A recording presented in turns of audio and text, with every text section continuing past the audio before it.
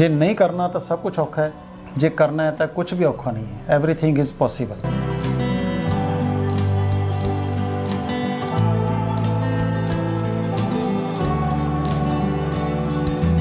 ਕਿਉਂਕਿ ਜੋ ਤੁਸੀਂ ਇੱਥੇ ਦੇਖ ਰਹੇ ਹੋ ਮਿਊਜ਼ੀਅਮ ਦੇ ਵਿੱਚ, ਇਸ ਤੋਂ ਜ਼ਿਆਦਾ ਪਾਰਟ ਜਿਹੜਾ ਮੇਰਾ ਉਹ ਕਬਰਡਸ ਦੇ ਅੰਦਰ ਪਿਆ ਹੈ।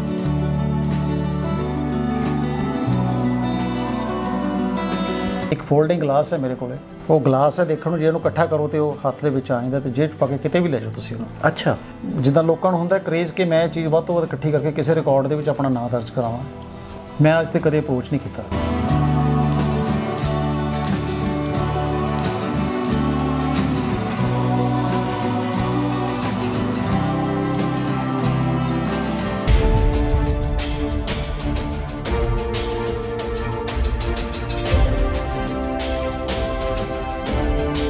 ਪੰਜਾਬ ਦੇ ਪਿੰਡਾਂ ਵਿੱਚ ਆਮ ਲੋਕਾਂ ਉੱਤੇ ਪੀਣ ਵਾਲੇ ਪਾਣੀ ਦੇ ਬਿੱਲ ਦਾ ਹਰ ਮਹੀਨੇ ਵੱਡਾ ਬੋਝ ਪੈ ਰਿਹਾ ਸੀ। ਆਮ ਲੋਕਾਂ ਦੀ ਇਸ ਸਮੱਸਿਆ ਨੂੰ ਸਮਝਦੇ ਹੋਏ ਮੁੱਖ ਮੰਤਰੀ ਚਰਨਜੀਤ ਸਿੰਘ ਚੰਨੀ ਦੀ ਅਗਵਾਈ ਵਾਲੀ ਪੰਜਾਬ ਸਰਕਾਰ ਨੇ ਪਿੰਡਾਂ ਵਿੱਚ ਪਾਣੀ ਦੀ ਸਪਲਾਈ ਕਰਨ ਵਾਲੀਆਂ ਮੋਟਰਾਂ ਉੱਤੇ ਮੁਫਤ ਬਿਜਲੀ ਦੇਣ ਦਾ ਐਲਾਨ ਕੀਤਾ ਹੈ। ਜਦਕਿ ਇਸ ਦੇ ਨਾਲ ਪਿੰਡਾਂ ਵਿੱਚ ਹੁਣ ਹਰ ਮਹੀਨੇ 166 ਰੁਪਏ ਦੀ ਥਾਂ 50 ਰੁਪਏ ਬਿੱਲ ਆਵੇਗਾ। 166 ਰੁਪਏ ਪਿੰਡਾਂ ਦਾ ਬਿੱਲ ਆ ਰਿਹਾ ਸੀ ਹਰ ਘਰ ਦਾ। ਕਿਉਂਕਿ ਪੈਸੇ ਸਰਕਾਰ ਨੇ ਦੇਣੇ ਆ ਇਸ ਕਰਕੇ ਪੰਚਾਇਤ ਪਰ ਲੋਡ ਘਟ ਜਾਣਾ ਹੈ ਸੀ ਲੋਕਾਂ ਦਾ ਵੀ ਗੁਰਾਹੀ ਘਟ ਕਰਨੀ ਹੈ ਅੱਗੇ ਨੂੰ। 166 ਰੁਪਏ ਦੀ ਜਗ੍ਹਾ 50 ਰੁਪਏ ਬਿੱਲ ਆਏ ਕਰੇਗਾ ਸਾਰਿਆਂ ਦਾ ਅੱਗੇ ਨੂੰ 50 ਆਉਣ ਲੱਗ ਗਿਆ ਸਰਕਾਰ ਦੇ ਇਸ ਫੈਸਲੇ ਨਾਲ ਪਿੰਡਾਂ ਦੇ ਲੋਕਾਂ ਨੂੰ ਵੱਡੀ ਰਾਹਤ ਮਿਲੀ ਹੈ ਸਾਡਾ ਜਿਹੜਾ ਪਰ ਮੰਥਲੀ ਸੀਗਾ 167 ਰੁਪਏ ਸੀਗੇ ਜੀ। ਤੇ ਹੁਣ ਸਾਨੂੰ ਉਹਦੇ ਵਿੱਚੋਂ ਕਟਾ, ਹੁਣ ਨੇ 11 ਰੁਪਏ ਉਹਦੇ ਵਿੱਚ ਸਬ ਚਾਰਜ ਹੋਰ ਲਾਉਣਾ ਸੀਗਾ। 171 ਰੁਪਏ ਬਣਦੇ ਸੀਗੇ ਜੀ। 171 ਦੇ ਵਿੱਚੋਂ ਸਾਨੂੰ ਹੁਣ ਉਹਨਾਂ ਨੇ ਸਾਰਾ ਕੁਝ ਕੱਟ ਕੇ 50 ਰੁਪਏ ਰੱਖ ਦਿੱਤੇ ਗਏ ਨੇ। ਸਾਨੂੰ 50 ਰੁਪਈਆਂ ਦਾ ਹੀ ਵਾਅਦਾ ਦਿੱਤਾ ਸੀਗਾ ਪਿੰਡਾਂ ਵਾਲਿਆਂ ਨੂੰ ਵੀ ਮੈਂ 50 ਰੁਪਏ ਕਰੂਆ ਚੰਨੀ ਸਾਹਿਬ ਦਾ। ਇਹ ਚੰਨੀ ਸਾਹਿਬ ਨੇ ਬਿਲਕੁਲ ਵਾਅਦਾ ਪੂਰਾ ਕਰਿਆ। ਪਿੰਡਾਂ 'ਚ ਪਾਣੀ ਦੀ ਸਪਲਾਈ ਦੀ, ਮੋਟਰ ਤੇ ਮੁਫਤ ਬਿਜਲੀ ਦੇ ਨਾਲ ਪਿੰਡ ਵਾਸੀਆਂ ਨੂੰ 1168 ਕਰੋੜ ਰੁਪਏ ਦੀ ਰਾਹਤ ਦਿੱਤੀ ਹੈ। ਪ੍ਰੋਗਰਾਮ ਨਾਲ ਜੁੜੇ ਦਰਸ਼ਕਾਂ ਦਾ ਬਹੁਤ-ਬਹੁਤ ਸਵਾਗਤ, ਸਭ ਤੋਂ ਪਹਿਲਾਂ ਪਿਆਰ ਤੇ ਸਤਿਕਾਰ ਨਾਲ ਸਤਿ ਸ਼੍ਰੀ ਅਕਾਲ। ਮੈਂ ਇੱਕ ਲਾਈਨ ਬੋਲਦਾ ਹੁੰਦਾ ਕਿ ਸਾਡੀ ਜਿਹੜੀ ਵਿਰਾਸਤ ਹੈ, ਜੇ ਤੁਹਾਨੂੰ ਸੰਭਾਲ ਲਈਏ ਤਾਂ ਐਂਟੀਕ ਬਣ ਜਾਂਦਾ ਹੈ ਤੇ ਨਹੀਂ ਕਬਾੜ 'ਚ ਚਲੀ ਜਾਂਦੀ ਹੈ। ਇਹ ਬਹੁਤ ਘੱਟ ਲੋਕਾਂ ਦੇ ਹਿੱਸੇ ਆਉਂਦਾ ਹੈ ਤੇ ਜਿਹੜੇ ਸੰਭਾਲਦੇ ਵੀ ਨੇ ਤੇ ਸੁਚੱਜੇ ਤਰੀਕੇ ਨਾਲ ਸੰਭਾਲਦੇ ਨੇ। ਮੈਂ ਪਟਿਆਲੇ ਦੇ ਸ਼ਾਹੀ ਸ਼ਹਿਰ ਆਇਆ ਤੇ ਕੇਐਸ ਸੇਖੋਂ ਸਾਹਿਬ ਨੂੰ ਤੁਹਾਨੂੰ ਮਿਲਾਵਾਂਗਾ। 40 ਸਾਲ ਤੋਂ ਉਹ ਕਲੈਕਸ਼ਨ ਕਰ ਰਹੇ ਨੇ ਤੇ ਬਹੁਤ ਖੂਬਸੂਰਤ ਘਰੇ ਮਿਊਜ਼ੀਅਮ ਬਣਾਇਆ ਹੋਇਆ। ਉਹਨਾਂ ਤੋਂ ਜਾਣਦੇ ਆ ਕੀ ਕੁਝ ਹੈ। ਇਹ ਸ਼ੌਕ ਕਿਵੇਂ ਪਿਆ ਤੇ ਇਹਨਾਂ ਨੂੰ ਸੰਭਾਲਣ ਦੀਆਂ ਜਿਹੜੀਆਂ ਨੁਕਤੇ ਕੀ ਨੇ। ਤੇ ਇਹ ਇਹ ਜਨੂਨ ਕਿੱਥੋਂ ਤੱਕ ਲੈ ਕੇ ਗਿਆ ਹੈ ਇਹਨਾਂ ਦੇ ਇਸ ਕਲੈਕਸ਼ਨ ਦੀ ਕਹਾਣੀ ਨੂੰ। ਸਭ ਤੋਂ ਪਹਿਲਾਂ ਕਰਦੇ ਸਵਾਗਤ ਫਿਰ ਜਾਣਦੇ। ਸਤਿ ਸ਼੍ਰੀ ਅਕਾਲ ਜੀ। ਸਤਿ ਸ਼੍ਰੀ ਅਕਾਲ ਜੀ ਜੀ ਆਇਆਂ ਨੂੰ। ਥੈਂਕ ਯੂ ਸੇਖੋ ਸਾਹਿਬ ਕਿੱਥੋਂ ਚਿਣਗ ਲੱਗੀ ਇਹ? ਦੇਖੋ ਅਕਸਰ ਇਹ ਚਿਣਕ ਜਿਹੜੀ ਹੈ ਬਚਪਨ 'ਚ ਹੀ ਲੱਗਦੀ ਹੈ ਸਾਰਿਆਂ ਨੂੰ। ਕਿਉਂਕਿ ਵੱਡੀ ਉਮਰੇ ਆ ਕੇ ਬੰਦਾ ਹੋਰ ਕੰਮਾਂ 'ਚ ਆਪਣੇ ਰੁਝੇਵਿਆਂ 'ਚ ਬਿਜ਼ੀ ਹੋ ਜਾਂਦਾ ਹੈ। ਸੋ ਮੈਨੂੰ ਵੀ ਛੋਟੇ ਹੁੰਦੇ ਲੱਗੇ ਨਾਨਕਿਓਂ ਕੁਝ ਸਿੱਕੇ ਛੋਟੇ ਛੋਟੇ ਮੋਰੀਆਂ ਵਾਲੇ ਕੁਝ ਮਿਲੇ ਇਦਾਂ ਦੇ। ਤੇ ਉਹ ਕਰਦੇ ਕਰਦੇ ਫਿਰ ਪਤਾ ਨਹੀਂ ਸੀ ਉਸ ਟਾਈਮ ਸਮਝ ਨਹੀਂ ਸੀਗੀ ਕੁਝ ਕਿ ਕਿਹੜੇ ਸਿੱਕੇ ਇਕੱਠੇ ਕਰਨੇ ਆ ਕੀ ਕਰਨਾ ਹੈ ਜੀ ਟਾਈਮ ਦੇ ਨਾਲ ਨਾਲ ਜਿੱਦਾਂ ਜਿੱਦਾਂ ਅਸੀਂ ਦੇਖਦੇ ਗਏ ਇੰਟਰਨੈਟ ਦਾ ਜ਼ਮਾਨਾ ਆ ਗਿਆ ਫਿਰ ਕੁਝ ਨਿਊਮਿਸਮੈਟਿਕ ਸੁਸਾਇਟੀਜ਼ ਜੁਆਇਨ ਕੀਤੀਆਂ ਉੱਥੋਂ ਪਤਾ ਲੱਗਿਆ। ਉਹਨਾਂ ਤੋਂ ਸਿੱਖੇ ਅਸੀਂ ਕਾਫੀ ਕੁਝ ਤੇ ਉਹਨਾਂ ਤੋਂ ਸਿੱਖ ਕੇ ਫਿਰ ਅਸੀਂ ਇਹਨਾਂ ਨੂੰ ਕਲੈਕਟ ਕਰਨਾ ਸ਼ੁਰੂ ਕੀਤਾ। ਜੀ। ਹੌਲੀ ਹੌਲੀ ਕਰਦੇ ਕਰਦੇ ਜਿਹੜੇ ਅਸੀਂ ਬ੍ਰਿਟਿਸ਼ ਇੰਡੀਆ ਦੇ ਸਿੱਕੇ ਇਕੱਠੇ ਕਰਦੇ ਸੀ ਜੀ। ਫਿਰ ਅਸੀਂ ਮੁਗਲ ਇਕੱਠੇ ਕੀਤੇ। ਸੁਲਤਾਨ ਕੀਤੇ 50 ਦੇ ਕਰੀਬ ਰਿਆਸਤਾਂ ਨੇ ਐਂਸ਼ੀਅੰਟ ਕੋਇਨਸ 600 BC ਫਿਰ ਮਹਾਰਾਜਾ ਰਣਜੀਤ ਸਿੰਘ ਦੇ ਸਿੱਕੇ। ਜੀ। ਫਿਰ ਕੋਸ਼ਿਸ਼ ਕੀਤੀ ਕਿ ਜਿੱਥੇ ਅਸੀਂ ਰਹਿ ਰਹੇ ਹਾਂ ਇਹ ਵੀ ਸਾਡਾ ਸ਼ਾਹੀ ਸ਼ਹਿਰ ਹੈ ਜੀ। ਤੇ ਇਹਨਾਂ ਦੇ ਸਿੱਕੇ ਵੀ ਜ਼ਰੂਰ ਇਕੱਠੇ ਕੀਤੇ ਜਾਣ। ਸੋ ਮੇਰੀ ਕਲੈਕਸ਼ਨ ਦੇ ਵਿੱਚ ਅੱਜ ਬਾਬਾ ਆਲਾ ਤੋਂ ਲੈ ਕੇ ਜਿਨ੍ਹਾਂ ਦੇ ਨਾਂ ਦੇ ਉੱਤੇ ਪਟਿਆਲਾ ਬਣਿਆ ਮਹਾਰਾਜਾ ਭੁਪਿੰਦਰ ਸਿੰਘ ਤੱਕ। ਇਹ ਕਲੈਕਸ਼ਨ ਹੈ ਸਾਰੀ ਕੋਇਨਸ ਦੀ। ਫਿਰ ਨਾਭਾ ਜੀਂਦ ਮਲੇਰਕੋਟਲਾ ਇਹਨਾਂ ਦੇ ਸਿੱਕੇ ਵੀ ਨਾਲ ਨਾਲ ਮੈਂ ਇਕੱਠੇ ਕੀਤੇ ਜੀ ਸਿੱਕਿਆਂ ਤੋਂ ਇਲਾਵਾ ਇਹ ਸਿੱਕਿਆਂ ਦੀ ਕਲੈਕਸ਼ਨ ਹੀ ਅੱਗੇ ਲੈ ਕੇ ਆਈ ਕਿ ਕੁਝ ਹੋਰ ਚੀਜ਼ਾਂ ਵੀ ਨਾਲ ਨਾਲ ਜੁੜਦੀਆਂ ਗਈਆਂ? ਪਹਿਲਾਂ ਮੈਂ ਸਿਰਫ ਸਿੱਕੇ ਇਕੱਠੇ ਕਰਦਾ ਸੀ ਜਾਂ ਪੋਸਟਲ ਸਟੇਸ਼ਨਰੀ ਹੁੰਦੀ ਹੈ ਜਿਹਦੇ ਚ ਸਾਡੇ ਇਨਵੈਲਪਸ ਹੁੰਦੇ ਨੇ ਫਰਸਟ ਡੇ ਕਵਰ ਸਟੈਂਪਸ ਹੁੰਦੀਆਂ ਨੇ ਜੀ। ਉਹ ਕਲੈਕਟ ਕਰਦਾ ਸੀਗਾ। ਜੀ। ਫਿਰ ਕੁਝ ਦੋਸਤ ਮਿੱਤਰਾਂ ਨੇ ਡਿਸਪਲੇ ਕੀਤੇ ਸੀ ਘਰੇ ਆਪਣੇ ਮਿਊਜ਼ੀਅਮ ਬਣਾਏ ਤੇ ਮੇਰਾ ਵੀ ਦਿਲ ਕੀਤਾ ਕਿ ਇਹਨਾਂ ਨੂੰ ਇੱਕ ਡਿਸਪਲੇ ਕੀਤਾ ਜਾਵੇ ਜਿੱਥੇ ਲੋਕੀ ਆ ਕੇ ਦੇਖਣ ਇਹਨੂੰ। ਜੀ। ਤੇ ਦੇਖ ਕੇ ਜਿਹੜਾ ਹੈਗਾ ਉਹ ਜ਼ਿਆਦਾ ਅੱਛਾ ਲੱਗੇਗਾ ਕਿ ਇਨਸਟੈਡ ਆਫ ਕਿ ਮੈਂ ਇਕੱਲੀ ਇਕੱਲੀ ਚੀਜ਼ ਉਹਨਾਂ ਨੂੰ ਕੱਢ ਕੇ ਦਿਖਾਵਾਂ।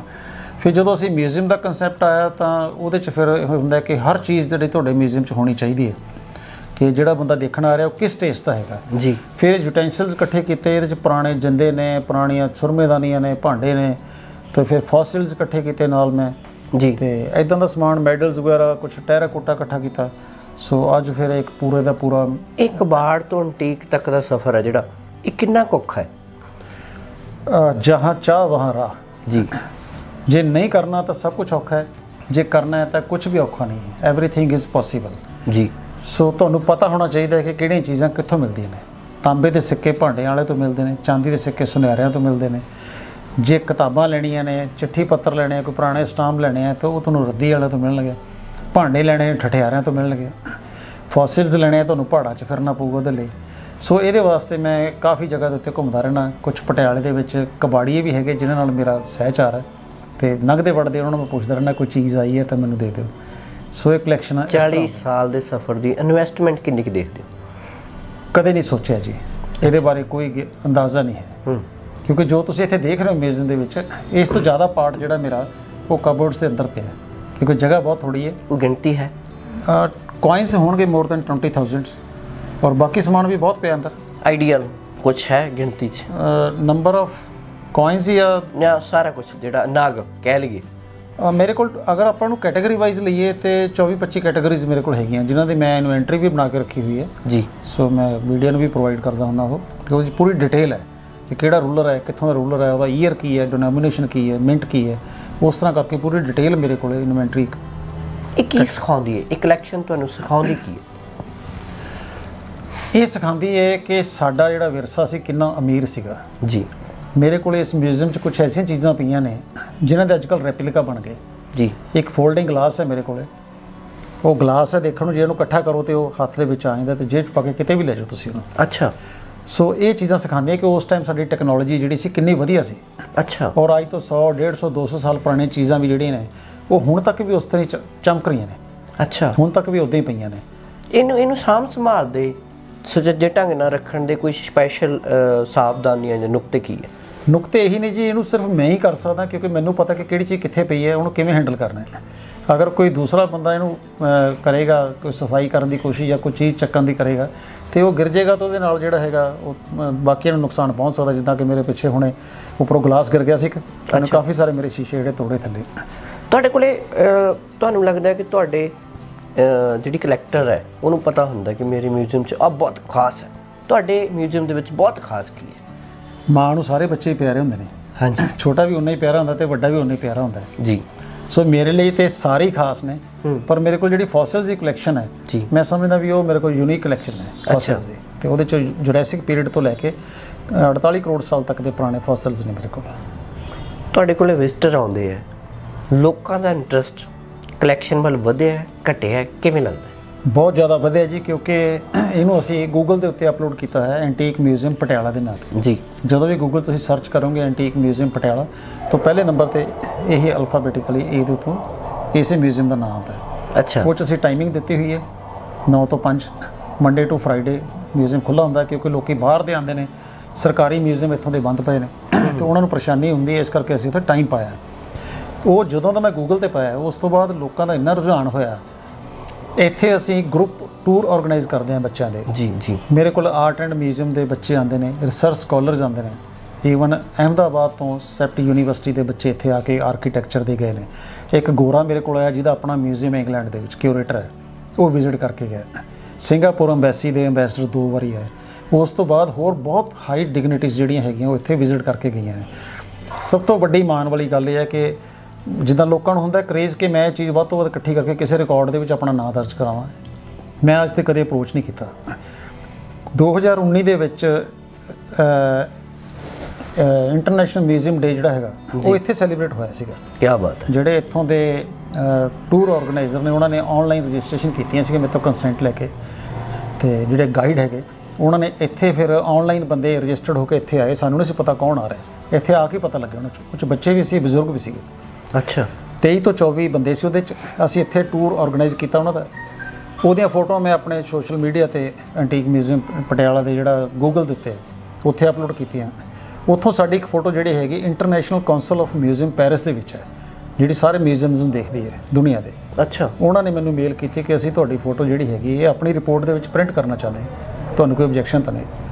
ਅਸੀਂ ਕਿਹਾ ਸਾਨੂੰ ਕੋਈ ਆਬਜੈਕਸ਼ਨ ਨਹੀਂ। ਯਾਨੀ ਇਹ ਚੀਜ਼ਾਂ ਮਾਣ ਹੈ ਬਹੁਤ ਵੱਡਾ। ਔਰ ਇਹ ਪੂਰੀ ਦੁਨੀਆ ਦੇ ਵਿੱਚੋਂ ਪੂਰੇ ਹਿੰਦੁਸਤਾਨ ਦੇ ਵਿੱਚ ਅਸੀਂ ਹਿੰਦੁਸਤਾਨ ਦੀ ਗੱਲ ਕਰਾਂਗੇ ਪੂਰੇ ਇੰਡੀਆ ਦੇ ਵਿੱਚੋਂ ਜਿਹੜੀ ਇੱਕ ਫੋਟੋ ਪ੍ਰਿੰਟ ਹੋਈ ਸੀ ਐਂਟੀਕ ਮਿਊਜ਼ੀਅਮ ਪਟਿਆਲਾ ਦੀ। ਕੀ ਬਾਤ ਹੈ। ਉਸ ਤੋਂ ਬਾਅਦ ਇੱਕ ਇੰਡੀਆ ਹੈਰੀਟੇਜ ਵਾਕ ਹੋਈ ਫਰਵਰੀ 'ਚ। ਉਹ ਜਿਹੜੀ ਸੀ ਯੂਨੈਸਕੋ ਨੇ ਆਰਗੇਨਾਈਜ਼ ਕੀਤੀ ਸੀ ਉਹ ਵੀ ਆਨਲਾਈਨ ਹੋਈ ਸੀ। ਜੀ। ਨਾਰਥ ਜ਼ੋਨ ਦੀਆਂ 32 ਐਕਟੀਵਿਟੀਜ਼ ਹੋਈਆਂ ਸੀਗੀਆਂ ਜਿਨ੍ਹਾਂ ਦੇ ਵਿੱਚੋਂ 6 ਫੋਟੋ ਉਹਨਾਂ ਨੇ ਪ੍ਰਿੰਟ ਕੀਤੀਆਂ ਸੀ। ਪਹਿਲੀ ਫੋਟੋ ਜਿਹੜੀ ਸੀ ਉਹ ਐਂਟੀਕ ਮਿਊਜ਼ੀਅਮ ਪਟਿਆਲਾ ਦੀ ਸੀ। ਤੇ ਮੇਰੇ ਲਈ ਇਹ ਪ੍ਰਾਪਤੀ ਹੈ ਕੰਮ ਦੀ ਰਿਕੋਗਨੀਸ਼ਨ ਹੋਈ ਹੈ ਮੇਰੇ ਦੀ ਉਹਨਾਂ ਨੇ ਦੇਖਿਆ ਤਾਂ ਉਹਨਾਂ ਨੇ ਇਹ ਰਿਸਰਚ ਵਾਲੇ ਲੋਕ ਲੱਭ ਲੈਂਦੇ ਲੋਕਲ ਅਸਰ ਕਿੰਨਾ ਕੁ ਵੇਖਦੇ ਪਟਿਆਲੇ ਦਾ? ਪਟਿਆਲੇ ਦੇ ਬੜੇ ਲੋਕ ਆਉਂਦੇ ਨੇ ਜੀ। ਜੀ। ਜਿਨ੍ਹਾਂ ਨੂੰ ਸ਼ੌਕ ਹੈ ਦੇਖੋ ਉਹੀ ਆਏਗਾ। ਮੇਰਾ ਗਾਰਡਨ ਹੈ ਗਾਰਡਨ ਜਿਹਨਾਂ ਨੂੰ ਗਾਰਡਨ ਦਾ ਸ਼ੌਕ ਹੈ ਉਹ ਅੱਜਕੱਲ ਗੂਗਲ ਦੇ ਉੱਤੇ ਜਿਹੜੀ ਵੀ ਚੀਜ਼ ਲੱਭਦੇ ਤੁਹਾਡੇ ਸਾਹਮਣੇ ਆ ਜਾਂਦੀ ਹੈ। ਤੇ ਜਦੋਂ ਕੋਈ ਬੰਦਾ ਕੁਆਇਨਸ ਦੀ ਜਾਂ ਕਿਸੇ ਚੀਜ਼ ਦੀ ਲੱਭਦਾ ਹੈ ਜਦੋਂ ਅਸੀਂ ਹੈਸ਼ਟੈਗ ਕਰਕੇ ਪੋਸਟ ਪਾਉਂਦੇ ਹਾਂ ਤੇ ਉਹ ਕਿੰਨੀ ਜਗ੍ਹਾ ਤੇ ਚਲੀ ਜਾਂਦੀ ਹੈ। ਤੇ ਉਹ ਜਿਹੜਾ ਟੇਸਟ ਵਾਲਾ ਬੰਦਾ ਉਹ ਆਪਣੇ ਆਪ ਪਹੁੰਚ ਜਾਂਦਾ ਹੈ। ਅੱਛਾ ਮੈਨੂੰ ਦੱਸਿਓ ਤੁਹਾਨੂੰ ਜ਼ਿੰਦਗੀ 'ਚ ਤੁਹਾਡਾ ਗੋਲ ਕੀ ਹੈ ਇਸ ਮਸਲੇ 'ਚ? ਗੋਲ ਹੈ ਜਾਂ ਇੱਕ ਸਕੂਨ ਹੈ? ਦੇਖੋ, ਮੈਂ ਇਹਨੂੰ ਸਕੂਨ ਕਹਿ ਸਕਦਾ। ਗੋਲ ਇਹ ਹੈ ਕਿ ਪਹਿਲੀ ਗੱਲ ਤੇ ਇਹਨਾਂ 'ਚ ਕੋਈ ਚੀਜ਼ ਮੈਂ ਵੇਚਦਾ ਨਹੀਂ। ਮੈਂ ਸਿਰਫ ਕਲੈਕਟ ਕਰਦਾ। ਮੇਰਾ ਗੋਲ ਇਹ ਹੈ ਕਿ ਅਸੀਂ ਲੋਕਾਂ ਨੂੰ ਆਪਣੀ ਵਿਰਾਸਤ ਨਾਲ ਜੋੜਨਾ ਹੈ। ਤੁਸੀਂ ਜਿੱਦਾਂ ਪਹਿਲਾਂ ਕਿਹਾ ਕਿ ਜਿਹੜੇ ਕੌਮਾਂ ਆਪਣੀ ਭਾਸ਼ਾ ਔਰ ਆਪਣੀ ਵਿਰਾਸਤ ਨੂੰ ਭੁੱਲ ਜਾਂਦੀਆਂ, ਉਹ ਕਦੇ ਕਾਮਯਾਬ ਨਹੀਂ ਹੁੰਦੀਆਂ। ਸੋ ਮੇਰੀ ਕੋਸ਼ਿਸ਼ ਹੈ ਕਿ ਜਿਹੜੀ ਨੈਕਸਟ ਜਨਰੇਸ਼ਨ ਹੈ, ਕਿਉਂਕਿ ਮੇਰੀ ਐਂਟੀਕ ਮਿਊਜ਼ੀਅਮ ਦੀ ਜਿਹੜੀ ਟੈਗ ਲਾਈਨ ਹੈ, ਉਹ ਵੀ ਇਹੀ ਹੈ। Preserving heritage for next next generation ਮੈਂ ਅਗਲੀ ਜਨਰੇਸ਼ਨ ਵਾਸਤੇ ਇਸ ਹੈਰੀਟੇਜ ਨੂੰ ਜਿੰਨੀ ਕਿ ਮੇਰੇ ਕੋਲ ਹੈ ਜਿੰਨੀ ਮੇਰੀ ਸਮਰੱਥਾ ਹੈ ਜਿੰਨੀ ਮੇਰੀ ਪਾਕਟ ਲਾਓ ਕਰਦੀ ਹੈ ਉਹਦੇ ਹਿਸਾਬ ਨਾਲ ਮੈਂ ਇਕੱਠਾ ਕੀਤਾ ਤੇ ਮੈਂ ਇਹਨੂੰ ਸਮਰਪਿਤ ਕਰ ਰਿਹਾ ਉਹਨਾਂ ਨੂੰ। ਅਗਲੀ ਆਉਣ ਵਾਲੀ ਪੀੜ੍ਹੀ ਨੂੰ ਉਹਨਾਂ ਨੂੰ ਪਤਾ ਲੱਗੇ ਕਿ ਇਹ ਸਾਡਾ ਵਿਰਸਾ ਕਿੰਨਾ ਅਮੀਰ ਸੀਗਾ। ਤੁਹਾਨੂੰ ਲੱਗਦਾ ਹੈ ਤੁਹਾਡੀ ਅਗਲੀ ਪੀੜ੍ਹੀ ਸੰਭਾਲੂਗੀ? ਮੇਰੀ ਪੀੜ੍ਹੀ ਨਹੀਂ ਸੰਭਾਲੇਗੀ ਤਾਂ ਕੋਈ ਤਾਂ ਸੰਭਾਲੇਗਾ। ਮੈਂ ਇਹਦੀ ਵਿਲ ਕੀਤੀ ਹੋਈ ਹੈ ਕਿ ਇਹਨੂੰ ਐਜ਼ ਇਟ ਇਜ਼ ਰੱਖਿਆ ਜਾਵੇ। ਅੱਛਾ। ਇਹ ਜਾਨੀ ਕਿ ਤੁਹਾਡਾ ਇਹ ਸੁਪਨਾ ਵੀ ਐ ਰਵੇ ਤੇ ਤੁਰੀ ਜਾਵੇ। ਜੀ ਮੈਂ ਇਹਦੀ ਰਜਿਸਟਰਡ ਵਿਲ ਕੀਤੀ ਹੋਈ ਹੈ। ਅੱਛਾ। ਕਿ ਮੇਰੇ ਤੋਂ ਬਾਅਦ ਇਸ ਮਿਊਜ਼ੀਅਮ ਨੂੰ ਡਿਸਮੈਂਟਲ ਨਾ ਕੀਤਾ ਜਾਵੇ ਇਹਨੂੰ ਐਜ਼ ਇਟ ਇਜ਼ ਰੱਖਿਆ ਜਾਵੇ ਜੇ ਕੋਈ ਦੇਖਣਾ ਤਾਂ ਉਹਨੂੰ ਦਿਖਾਇਆ ਜਾਵੇ। ਅੱਛਾ। ਇਹ ਇਹ ਚੀਜ਼ਾਂ ਤੁਸੀਂ ਇਹਦੇ ਵਿੱਚ ਕਵ ਜਾਨੀ ਕਿ ਆਪ ਦੀ ਜ਼ਿੰਦਗੀ 'ਚ ਤੈਅ ਕਰ ਦਿੱਤੀਆਂ। ਹਾਂ ਬਹੁਤ ਸਾਲ। ਪਹਿਲਾਂ। 20 ਸਾਲ ਪਹਿਲਾਂ ਹੀ ਕਰਤੀ ਸੀ। ਤੁਹਾਨੂੰ ਇਹ ਲੱਗਦਾ ਕਿ ਅੱਜ ਜਿਹੜਾ ਸਾਡਾ ਨੌਜਵਾਨ ਪੀੜ੍ਹੀ ਹੈ ਉਹਨੂੰ ਇਹਦੇ ਨਾਲ ਜੋੜਨ ਲਈ ਕਿਸ ਤਰ੍ਹਾਂ ਦੇ ਉਪਰਾਲੇ ਕਰਨੇ ਚਾਹੀਦੇ? ਦੇਖੋ ਇਹਦੇ ਸਬਜੈਕਟ ਹੋਣੇ ਚਾਹੀਦੇ ਨੇ ਸਕੂਲਾਂ ਦੇ ਵਿੱਚ। ਐਜੂਕੇਸ਼ਨਲ ਟੂਰਸ ਅਸੀਂ ਉਦਾਂ ਬੜੇ ਕਰਾਣੇ ਲੋਕਾਂ ਬੱਚਿਆਂ ਨੂੰ ਲੈ ਕੇ ਜਾਂਦੇ ਆ ਕਦੇ ਬਾਗ 'ਚ ਲੈ ਗਏ ਕਿਤੇ ਕਿਤੇ ਲੈ ਗਏ। ਉਹਨਾਂ ਨੂੰ ਮਿਊਜ਼ੀਅਮ ਵਿਜ਼ਿਟ ਕਰਾਉਣੇ ਚਾਹੀਦੇ ਨੇ। ਕਿਉਂ? ਪਰ ਤਰਾਸਦੀ ਇਸ ਲਈ ਕਿ ਉਹਨਾਂ ਨੂੰ ਪਤਾ ਲੱਗੇ ਸਾਡੇ ਵਿਰਾਸਤ ਦਾ ਪਤਾ ਲੱਗੇ ਸਾਡੇ ਹਿਸਟਰੀ ਦਾ ਪਤਾ ਲੱਗੇ। ਅੱਛਾ। ਕਿ ਸਾਡੇ ਸਿੱਕੇ ਕਿੱਦਾਂ ਦੇ ਹੁੰਦੇ ਸੀ। ਅੱਜ ਕੱਲ ਜਿਹੜਾ ਸਾਡੇ ਮੇਰੇ ਕੋਲ ਸਿੱਕੇ ਪਏ ਨੇ ਇਹ 10 15 18 ਗ੍ਰਾਮ ਦਾ ਸਿੱਕਾ ਹੈਗਾ। ਇਹਨੂੰ ਅੱਜ ਵੀ ਮੈਂ ਤੋੜ ਕੇ 10 ਟੁਕੜੇ ਕਰਕੇ ਬਾਜ਼ਾਰ 'ਚ ਵੇਚ ਕੇ ਆਉਂਗਾ ਤਾਂ ਮੈਨੂੰ ਮੈਟਲ ਵੈਲਿਊ ਦੀ ਮਿਲ ਜੇਗੀ। ਜੀ। ਅੱਜ ਦੇ ਨਵੇਂ 1 ਰੁਪਏ ਨੂੰ ਤੁਸੀਂ ਥੋੜਾ ਜਿਹਾ ਵੀ ਤੋੜ ਕੇ ਜਾਓਗੇ ਦੁਕਾਨ ਵਾਲਾ ਕਹੂਗਾ ਇਹ ਨਹੀਂ ਚੱਲਦਾ। ਇਸ ਕਰਕੇ ਇਹਦੀ ਐਂਟੀਕ ਵੈਲਿਊ ਤਾਂ ਹੈ ਹੀ ਹੈ ਇਹਦੀ ਮੈਟਲ ਵੈਲਿਊ ਵੀ ਹੈ। ਅੱਛਾ। ਸੋ ਇਹ ਚੀਜ਼ਾਂ ਦੱਸਣੀਆਂ ਜ਼ਰੂਰੀ ਨੇ ਕਿ ਸਾਡਾ ਕਿੰਨਾ ਅਮੀਰ ਵਿਰਸਾ ਸੀਗਾ। ਤੋਂ ਇਹਨੂੰ ਸੰਭਾਲਣ ਦੀ ਲੋੜ ਹੈ। ਸਰਕਾਰੀ ਮਿਊਜ਼ੀਅਮਸ ਦੇ ਵਿੱਚ ਤੁਸੀਂ ਦੇਖੋਗੇ ਜਾ ਕੇ ਬੇਤਰਤੀਬੇ ਸਿੱਕੇ ਪਏ ਨੇ ਉੱਥੇ ਕੋਈ ਕੁਝ ਲਿਖ ਰੱਖਿਆ ਕਿਤੇ ਕੁਝ ਲਿਖ ਰੱਖਿਆ। ਪਤਾ ਹੀ ਨਹੀਂ ਹੈ। ਇਹ ਮੈਂ ਲਿਖਣ ਵਾਲੀ ਗੱਲ ਤੇ ਪੁੱਛਾਂ ਤੁਹਾਨੂੰ ਤੇ ਹਰ ਚੀਜ਼ ਬਾਰੇ ਬੈਕਗ੍ਰਾਉਂਡ ਜਾਣਦੇ ਹੋ ਤੁਸੀਂ? ਕਲੈਕਸ਼ਨ ਰਿਟਰਨ ਚ ਰੱਖੀ ਹੈ ਸਾਰਾ ਕੁਝ ਬਿਲਕੁਲ ਜੀ ਇਹਦਾ ਇੱਕ ਕੈਟਲੌਗ ਰਜਿਸਟਰ ਲੱਗਿਆ ਹੋਇਆ ਹੈ। ਬੈਕਅਪ ਇਹਦਾ ਕੰਪਿਊਟਰ 'ਚ ਪਿਆ ਮੇਰੇ ਕੋਲੇ। ਤੇ ਉਹਦੇ 'ਚ ਹਰ ਇੱਕ ਉਹਨਾਂ ਨੂੰ ਨੰਬਰ ਦਿੱਤੇ ਹੋਏ ਨੇ। ਸੁਲਤਾਨਜ਼ ਨੂੰ ਇੱਕ ਨੰਬਰ ਦਿੱਤਾ ਹੋਇਆ ਹੈ ਮੁਗਲਜ਼ ਨੂੰ ਦੋ ਨੰਬਰ ਦਿੱਤਾ ਹੈ। ਦੋ ਦੇ ਵਿੱਚ ਫਿਰ ਬਾਬਰ ਫਿਰ ਅਕਬਰ ਫਿਰ ਉਹ 2 ਬਟਾ 2 ਹੋ ਜਾਂਦਾ ਹੈ। ਫਿਰ ਅੱਗੇ ਉਹਦੀ ਮਿੰਟ ਚੇਂਜ ਹੁੰਦੀ 2 ਬਟਾ ਇੱਕ ਸਬ ਨੰਬਰ ਇੱਕ ਚੇਂਜ ਹੋ ਜਾਂਦਾ ਹੈ। ਉਹਦੀ ਵੈਲਿਊ ਚੇਂਜ ਹੋ ਗਈ ਡਿਨੋਮੀਨੇਸ਼ਨ ਚੇਂਜ ਹੋ ਗਈ ਉਹਦੀ ਮਿੰਟ ਚੇਂਜ ਹੋ ਗਈ। ਤੋਂ ਅੱਗੇ ਸਬ ਨੰਬਰ ਚੱਲਦੇ ਹਰ ਕੁਆਇਨ ਨੂੰ ਨੰਬਰ ਦਿੱਤਾ ਹੋਇਆ ਮੇਰੇ ਐਲਬਮਸ ਦੇ ਜਿੰਨੇ ਕੁਆਇਨ ਲੱਗੇ ਨੇ ਸਾਰੇ ਕੈਟਲੌਗ ਨੇ। ਕੀ ਬਾਤ ਹੈ। ਉਹਦੇ ਉੱਤੇ ਰੂਲਰ ਹੈ ਕਿੱਥੋਂ ਦਾ ਰੂਲਰ ਹੈ ਉਹਦਾ ਏਡੀ ਪੀਰੀਅਡ ਹਿਜਰੀ ਪੀਰੀਅਡ ਉਹਦੀ ਡਿਨੋਮੀਨੇਸ਼ਨ ਉਹਦੀ ਮਿੰਟ ਉਹਦਾ ਕੈਟਲੌਗ ਨੰਬਰ ਹਰ ਕੋਇਨ ਦੇ ਉੱਪਰ। ਹੈ। ਇੰਨਾ ਟਾਈਮ ਕਿਵੇਂ ਕੱਢਦੇ ਹੋ ਜਦੋਂ ਵਿਜ਼ਟਰ ਆਉਂਦੇ ਮੈਨੂੰ ਤਾਂ ਬੜਾ ਅੱਛਾ ਲੱਗਦਾ ਜੀ ਮੈਂ ਕਹਿੰਦਾ ਰੋਜ਼-ਰੋਜ਼ ਆਉਣਾ ਮੇਰੇ ਕੋਲੇ। ਅੱਛਾ ਚੰਗਾ ਲੱਗਦਾ। ਮੈਨੂੰ ਬਹੁਤ ਚੰਗਾ ਲੱਗਦਾ ਕਿਉਂਕਿ ਮੈਨੂੰ ਅੱਛਾ ਲੱਗਦਾ ਕਿ ਜਦੋਂ ਮੈਂ ਆਪਣੀਆਂ ਆਪਣੇ ਤਜਰਬੇ ਆਪਣੀਆਂ ਚੀਜ਼ਾਂ ਕਿਸੇ ਨਾਲ ਸ਼ੇਅਰ ਕਰਦਾ ਤੇ ਮੈਂ ਉਹਦੇ ਚ ਇਹੀ ਦੇਖਦਾ ਹੁੰਦਾ ਕਿ ਇਹ ਜਾ ਕੇ ਜ਼ਰੂਰ ਕੁਝ ਨਾ ਕੁਝ ਇਹਦੇ ਚ ਕੰਟਰੀਬਿਊਟ ਕਰੇਗਾ। ਕੀ ਬਾਤ ਹੈ। ਅੱਛਾ ਮੇਰਾ ਆਖਰੀ ਸਵਾਲ ਹੈ ਇਸ ਸਫ਼ਰ ਨੂੰ ਦੋ ਲਾਈਨਾਂ 'ਚ ਕੰਪਲੀਟ ਕਿ ਜੇ ਤੁਸੀਂ ਕਰਨਾ ਹੋਵੇ ਤਾਂ ਕੀ ਕਹੋਗੇ? ਇਸ ਕਲੈਕਸ਼ਨ ਦੇ ਸਫ਼ਰ ਨੂੰ ਇਸ ਮਿਊਜ਼ੀਅਮ ਦੇ ਸਫ਼ਰ ਨੂੰ? ਦੋ ਲਾਈਨਾਂ 'ਚ ਡਿਸਕ੍ਰਾਈਬ ਕਰਨਾ ਬਹੁਤ ਔਖਾ ਹੈ। ਜੀ। 40 ਸਾਲ ਦਾ ਜਿਹੜਾ ਸਮਾਂ ਹੈਗਾ ਉਹਨੂੰ ਤੁਸੀਂ ਦੋ ਲਾਈਨਾਂ 'ਚ ਡਿਸਕ੍ਰਾਈਬ ਨਹੀਂ ਕਰ ਸਕਦੇ। ਪਰ ਮੈਨੂੰ ਅੱਜ ਵੀ ਐਂ ਲੱਗਦਾ ਕਿ 40 ਸਾਲ ਮੇਰੇ ਅੱਖ ਦੇ ਫੋਰ 'ਚ ਹੀ ਨਿਕਲ ਗਏ। ਅੱਛਾ। ਤੇ ਮੈਨੂੰ ਹੁਣ ਲੱਗਦਾ ਕਿ ਮੈਂ ਸ਼ਾਇਦ ਹੁਣੇ ਕੱਲ ਪਰਸੋਂ ਸ਼ੁਰੂ ਕੀਤੀ ਸੀ। ਕੀ ਬਾਤ ਹੈ। ਤਾਂ ਇੰਨਾ ਕਿ ਡਿਸਕ੍ਰਾਈਬ ਕੀਤਾ ਜਾ ਸਕਦਾ? ਇਹਨੂੰ ਇਹਦਾ ਕੋਈ ਇਹ ਐਂਡਲੈਸ ਚੀਜ਼ਾਂ ਨੇ। ਇਹਦੀ ਕੋਈ ਲਿਮਿਟ ਨਹੀਂ ਹੈ। ਨਹੀਂ, ਕੋਈ ਗੋਲ ਜਿਹੜਾ ਬਾਕੀ ਰਹਿ ਗਿਆ ਉਹ ਇੱਛਾ ਬਹੁਤ ਹੈ। ਹਾਲੇ ਵੀ ਕੋਇਨ ਮਿਲ ਜਾਂਦੇ ਨੇ ਕੋਈ ਚੀਜ਼ ਮਿਲਦੀ ਹੈ ਨਹੀਂ ਪੁਰਾਣੀ? ਬਹੁਤ ਤੜਫ ਹੈ ਜਿਹੜੀ ਚੀਜ਼ ਦੀ ਤੜਪ ਤਾਂ ਇਨਸਾਨ ਨੂੰ ਬਹੁਤ ਹੁੰਦੀ ਹੈ ਜੀ। ਮੇਰਾ ਜਿਹੜਾ ਰੁਚੀ ਹੈ ਮੇਰੀ ਇਹਨਾਂ ਚੀਜ਼ਾਂ ਵੱਲ ਜ਼ਿਆਦਾ ਨੇਚਰ ਵੱਲ ਜ਼ਿਆਦਾ ਹੈ ਪਲਾਂਟੇਸ਼ਨ ਵੱਲ ਜ਼ਿਆਦਾ ਹੈ ਹੈਰੀਟੇਜ ਸੰਭਾਲਣ ਤੇ ਹੈ। ਮੈਂ ਪੇਂਟ ਕਰਦਾ ਰਿਹਾ ਬਹੁਤ ਜ਼ਿਆਦਾ ਮੈਂ ਲਿਖਦਾ ਵੀ ਰਿਹਾ ਮੇਰੀ ਬੁੱਕ ਪਬਲਿਸ਼ ਹੋਈ ਹੈ ਪੋਇਟਰੀ ਦੀ ਤੇ ਮੈਨੂੰ ਗਾਉਣ ਦਾ ਸ਼ੌਕ ਹੈ ਤੇ ਸੋਸ਼ਲ ਐਕਟੀਵਿਟੀਜ਼ ਕਰਦਾ। ਮੈਂ ਆਪਣੇ ਆਪ ਨੂੰ ਬਹੁਤ ਮਸ਼ਰੂਫ ਆਖਦਾ। ਨਹੀਂ ਮੈਂ ਕਲੈਕਸ਼ਨ 'ਚ ਕੋਈ ਤੜਫ ਹੋਵੇ ਇਹ ਕਲੈਕਟ ਕਰਨਾ ਹੈ ਤੇ ਮਿਊਜ਼ੀਅਮ ਦਾ ਹਿੱਸਾ ਹੋਵੇ। ਮੇਰੇ ਹੁਣ ਮਹਾਰਾਜਾ ਯਾਦਵਿੰਦਰ ਸਿੰਘ ਦਾ ਕੋਇਨ ਨਹੀਂ ਹੈ ਮੇਰੇ ਕੋਲ ਪਟਿਆਲਾ ਸਟੇਟ ਦਾ ਜਿਹੜਾ ਕਿ ਮੌਜੂਦਾ ਸਾਡੇ ਪ੍ਰੀਵੀਅਸ ਕੈਪਟਨ ਅਮਰਿੰਦਰ ਸਿੰਘ ਦੇ ਫਾਦਰ ਸੀਗੇ। ਅਗਰ ਉਹ ਮਿਲ ਜੇ ਤੇ ਮੇਰੇ ਪਟਿਆਲਾ ਰਿਆਸਤ ਜਿਹੜੀ ਕੰਪਲੀਟ ਹੋ ਜਾਏਗੀ। ਅੱਛਾ ਇਹ ਮੇਰਾ ਬੜਾ ਦਿਲ ਕਰਦਾ ਹੈ। ਪਹਿਲਾ ਗੋਲ ਹੈ। ਜੀ। ਜੀ। ਚਲੋ ਅਸੀਂ ਦੁਆ ਕਰਦੇ ਹਾਂ ਤੁਹਾਡਾ ਸਫ਼ਰ ਹੋਰ ਵੀ ਖੂਬਸੂਰਤ ਰਹੇ। ਥੈਂਕ ਯੂ ਟਾਈਮ ਦੇਣ ਲਈ। ਜੀ। ਬਹੁਤ ਸ਼ੁਕਰੀਆ। ਬਹੁਤ ਬਹੁਤ ਧੰਨਵਾਦ। ਸੇਖੂ ਸਾਹਿਬ ਨਾਲ ਗੱਲਬਾਤ ਕਰਕੇ ਹਮੇਸ਼ਾ ਹੀ ਚੰਗਾ ਲੱਗਦਾ ਹੈ। ਵਿਰਾਸਤ ਨਾਲ ਜੁੜਨਾ ਜੋੜਨਾ ਤੇ ਸੁਚੱਜੇ ਢੰਗ ਨਾਲ ਉਹਨੂੰ ਸੰਭਾਲ ਕੇ ਰੱਖਣਾ ਇਹ ਐਂਟੀਕ ਸ਼ਬਦ ਚ ਸ਼ਾਮਲ ਹੋ ਜਾਂਦਾ ਜਾ ਕੇ। ਕਬਾੜ ਚ ਮਾਰਿਓ ਘਰੇ ਧਿਆਨ ਸਟੋਰੇਜ ਦੇ ਵਿੱਚ ਕਿ ਅਸੀਂ ਕੀ ਕੁਝ ਆਪਦੀ ਵਿਰਾਸਤ ਚ ਗਵਾ ਲਿਆ। ਮੈਨੂੰ ਇੱਕ ਡਾਕਟਰ ਨੇ ਕਿਹਾ ਸੀ ਕਿ ਪੰਜਾਬ ਦਾ ਫਿਊਚਰ ਇਹ ਜਿਹੜਾ ਉਹ ਪਾਸਟ ਹੀ ਉਹਦਾ ਫਿਊਚਰ ਹੈ। ਤੇ ਇਹ ਇਹ ਚੀਜ਼ ਨੂੰ, ਇਸ ਲਾਈਨ ਨੂੰ ਸੰਭਾਲਣ ਦੀ ਲੋੜ ਹੈ, ਇਸ ਲਾਈਨ ਤੇ ਪਹਿਰਾ ਦੇਣ ਦੀ ਲੋੜ ਹੈ। ਦਿਓ ਇਜਾਜ਼ਤ, ਫਿਰ ਮਿਲਾਂਗੇ। ਸਤਿ ਸ਼੍ਰੀ ਅਕਾਲ।